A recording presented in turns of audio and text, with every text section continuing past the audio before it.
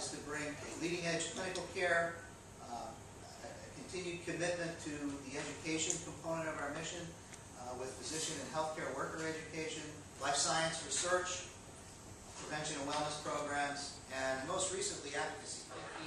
1984, and in Orlando, actually, since 1987. I moved down from Delaware uh, to help get our physician practice started in uh, 1996. Uh, And we've been taking care of patients uh, that whole time. In 2008, uh, our physicians uh, saw over 100,000 patients, uh, nearly a quarter million outpatient visits, and over 25,000 uh, surgeries performed system-wide in Florida.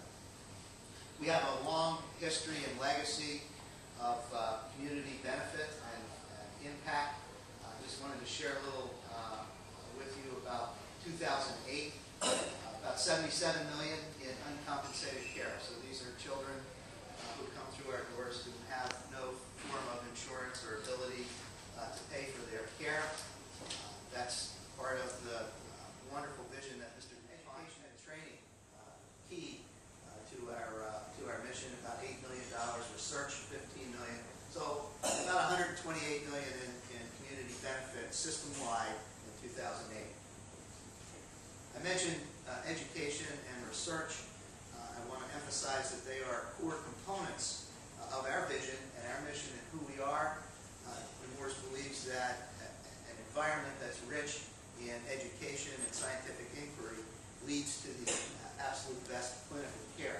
Uh, We're very excited to be part of the uh, Lake Nona Medical City uh, and the opportunities to interact with researchers at Burnham, with other healthcare entities, with the medical school.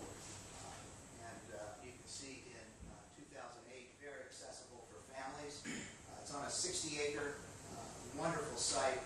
Our first phase is about 630,000 square feet, which includes the Children's Hospital, the emergency room, the outpatient clinics, diagnostic services, and education and research have the ability over time to grow on that site to about 2 million square feet.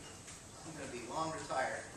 Um, Somebody else will be able to see the next uh, couple of phases through it, but uh, uh, we wanted to create uh, an environment that could grow uh, to meet the demands uh, over the foreseeable future. I mentioned construction began in 2009, and we will be opening, probably complete construction mid-2012, and probably seeing our first patients in the third quarter, fourth, beginning of the fourth quarter of 2012. Uh, One of the neat things about this project is it's LEED certified